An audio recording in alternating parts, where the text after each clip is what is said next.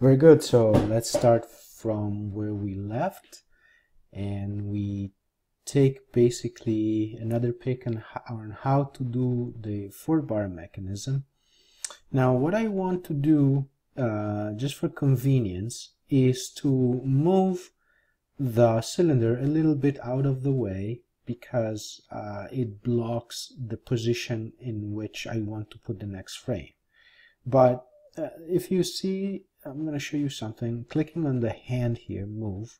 If I move the cylinder, see, uh, well, in this case it will do it, but um, what I can create sometimes is the movement of the two degrees of freedom at the same time in fact, this one is also uh, movable. Uh, in this case, it's not a big deal if this one moves, uh, but I want to have this part uh, oriented with respect to the um, X, Y, and Z. So this is going to be pretty quick. Um, we can do a couple of tricks in order to speed up the process. First of all, we can select the bar here and do Control C, Control V, and we have actually another bar. Now, problem comes out from the fact that everything was selected, so they, it, the um, constraint was also copied, um, but it's not such a big deal. We can select the constraint here and actually delete the constraint um, and we'll see that here chord 15 on ground that is on the ground it's uh, uh, attached to the ground and we don't want that we just want to delete that and we see now we have the constraint that is just attached to the uh, bar. Uh, secondly, we want to create a, another constraint on the base. We select the edge here and uh, double click on the constraint and make sure that the position is right.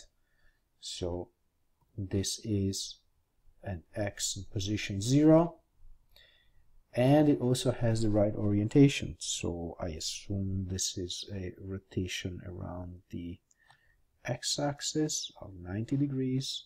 Apply. And no control Z to also this is zero. It's a rotation around the y-axis 90 degrees. Perfect. Now we can select the constraint, this constraint, the, the frame, the frame you see is uh, already selected, and then control and click on the other frame and do the same thing we did before. Create a revolute joint from the base to uh, constrain the chord 14 on body 12. They need to join and hit create and at this point I created the um, other arm now I can basically do um, the same thing for the uh, base. Well, let me call basically body 6 has arm.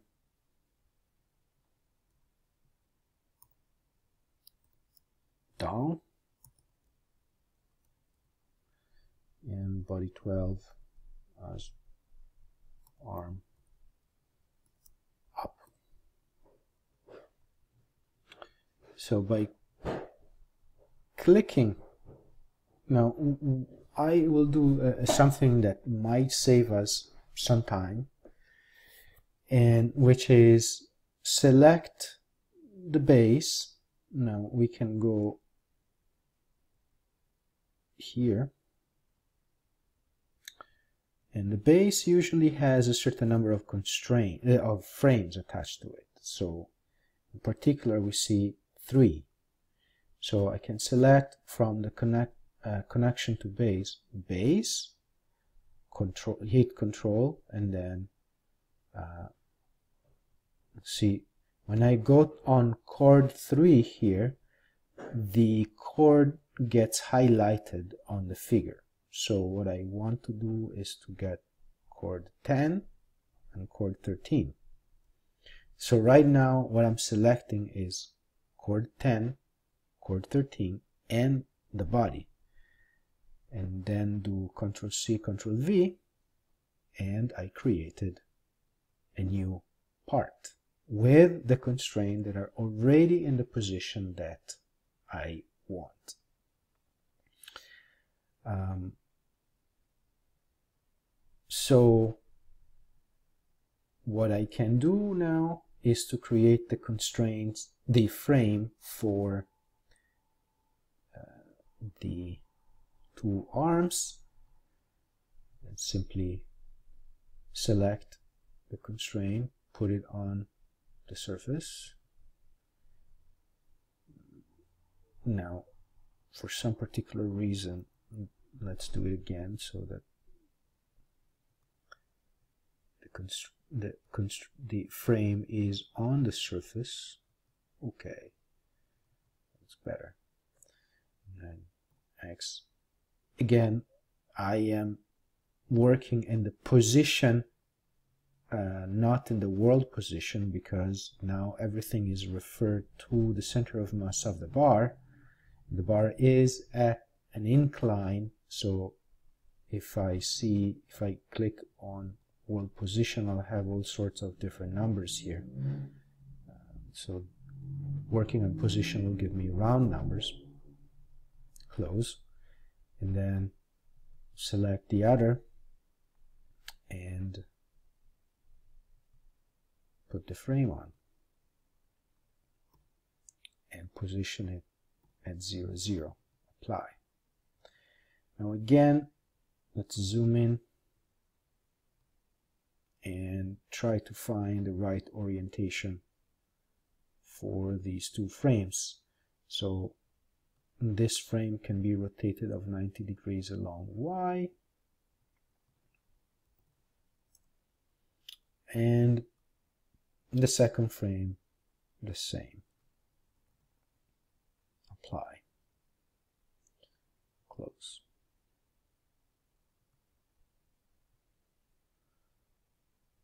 so now I need to be careful here because if I uh, do the constraint the way I used to do it before, um, I might end up with the position of the copy of the base here flipped. So the bottom arm will be connected with the top frame here. And then we create the revolute joint. And then we'll take the top uh, bar and the bottom frame of the base and create the revolute join again.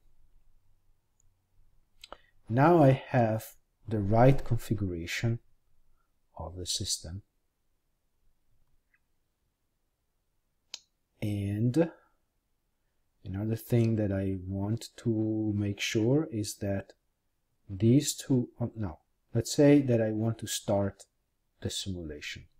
I'll see that everything will start to flip around.